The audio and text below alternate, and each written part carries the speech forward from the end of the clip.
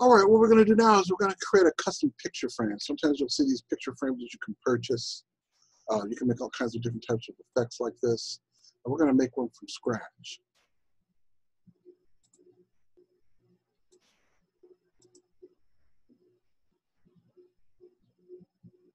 So here I am in Photoshop and I've got this wood paneling and I've got this photo of a, a truck and I, and I want to use the truck. I want to make a wood panel picture frame from the uh, from the wood panel and put the truck in the middle of it. So I'm going to go select all, edit copy, and I'm going to click on the other picture. I just want to paste in the middle, edit paste.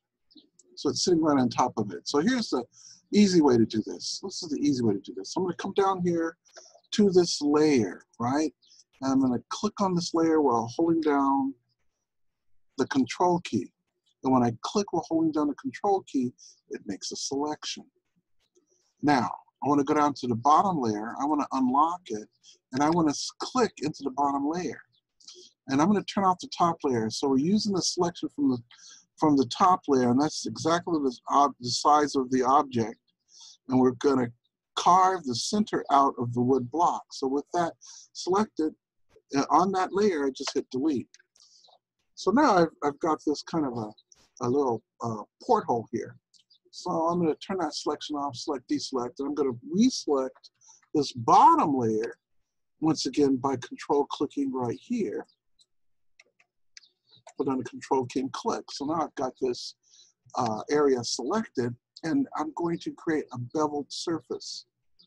And I could colorize it too if I wanted to. I could go up to image adjust, and I could go to hue saturation, and I could colorize it, make whatever color I want, or just modify the colors as I see fit. I'm gonna leave that off. So now, what I'm gonna do is I'm gonna go to effects. And I, uh, I wanna bevel this. I'm gonna click bevel and emboss. And there's my beveled surface. And I can increase the depth of the bevel, increase the size and the sharpness. There's different types of bevels. There's stroke, pillow emboss. Actually, I think I like that pillow emboss. Let's look at that pillow emboss. Let's leave it on now. There we go. So let's look at that pillow emboss. Let's look at that. Let's click OK. Now turn on the picture. And you'll see that it fits neatly inside of there. Select deselect. And it looks like it's just etched right into there. And so what we've done here is we've created kind of like a, uh, a, uh, a beveled picture frame for your artwork. And so you can take any kind of a surface, uh, knock out the image, place this in the middle, create some sort of a, a, a, beveled surface around it, and you've got this really cool kind of beveled picture frame type of uh, an art uh, thing for your photos.